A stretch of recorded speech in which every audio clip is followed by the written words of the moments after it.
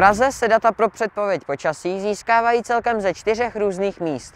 Nejznámější z nich je Klementínum na Karlově, další meteorologické stanice nalezneme na letišti v Ruzini a ve Kbelích a poslední z nich je zde na Libuši. Nebo to, že je tato měřící věž v Libuši, tvrdí její název, který zní Observatoř Libuš. Pojďme ho ale nyní podrobit drobné analýze. Tak hned první slovo. Observatoř. Ačkoliv jeho definice odpovídá tomu, co zde vidíme, většina z vás si pod ním představí něco takového nebo takového, ale pravděpodobně ne tohle. Druhou půlku názvu tvoří výraz Libuš, což je jedna z pražských městských částí. Problém je ale v tom, že observatoř Libuš v Libuši není. Nachází se totiž na Praze 12, přibližně 400 metrů od jejich hranic. U samotné budovy ještě chvíli zůstaňme, protože právě v ní musíme hledat důvod vzniku této zastávky.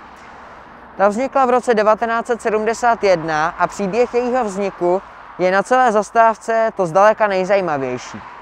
Jelikož tehdy ještě nebylo vystavěno ani sídliště Modřany západně, ani sídliště Libuš východně od observatoře, nebylo v této oblasti nijak kvalitní dopravní spojení, takže zaměstnanci měli celkem složitou cestu do práce. Dopravní podnik byl tehdy požádán o zajištění spojů k observatoři, ale tuto žádost zamítl pro absenci autobusové zastávky.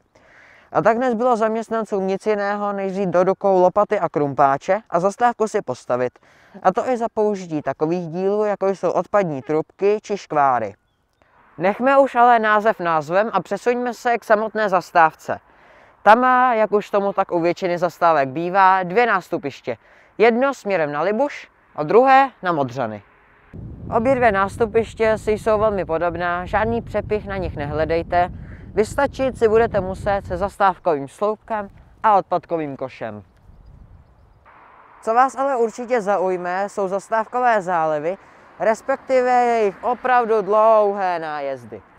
Ty se svou délkou téměř 40 metrů předčily délku samotných nástupišť a to takřka o polovinu.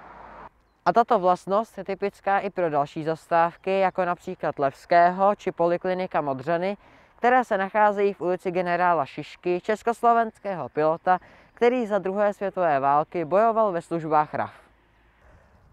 Důvodů, proč vystoupit na této zastávce, příliš mnoho není. Leda, že byste byli zaměstnanci oné observatoře, nebo byste se chtěli podívat na bývalou skládku, případně se zajít na výlet do Modřanské rokle. V tom případě vám ale doporučuji využít spíše zastávku sídliště Libuš, ze které vede daleko lepší přístupová cesta. Do deseti let by se měl tento prostor výrazně změnit. Měla by se tudy totiž prodloužit tramvajová trať ze stávající smyčky Levského k budoucí stanici metra Nové dvory. Díky tomu by odsud mohly autobusy úplně zmizet a celý prostor se promění k nerozeznání.